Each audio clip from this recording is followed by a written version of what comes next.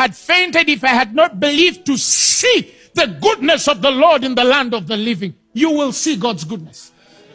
I said you'll see God's goodness. So I see a God who not only wants to restore you, but he also wants to give you the years and the time that you lost, and greater doors are ahead of you than the doors that have shut on you. If he left you, God will get a better fellow. If she left you, God will bring a better man. That's the way God works. If that job, car job, let me add on, that little small job left you, let me watch you get a job that is going to shock everybody that is related to you.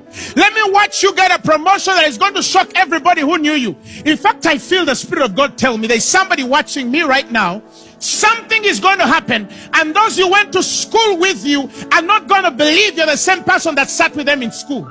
Those who you've been playing with are not going to be able to define you. They will read you and not believe that that's the fellow that they went with to school that they ate food with that they lived in the same community and vicinity with. Why? Because god wants to do things in your life that no man can define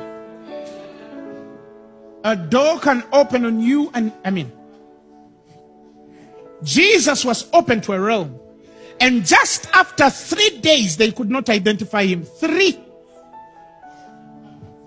Why? Because of the glory that was on his life remember after that after he makes a public spectacle of them all and triumphing all overall the bible says he's given a, a, name that at the sound of that name every knee bows of the things in the earth and under earth and in heaven and every tongue confesses that jesus christ is lord to the glory of the father. He rises up in glory and he appears before some and they can't even identify the man that died three days ago. Not because his nose changed but there was a glory in his life that changed not because his eyes changed, but there was a glory in his life that changed. May God do something that even your own relatives might bypass you without recognizing you. Not because they don't know your face, but the glory in your life will turn you into another man, into another woman, in the mighty name of Jesus.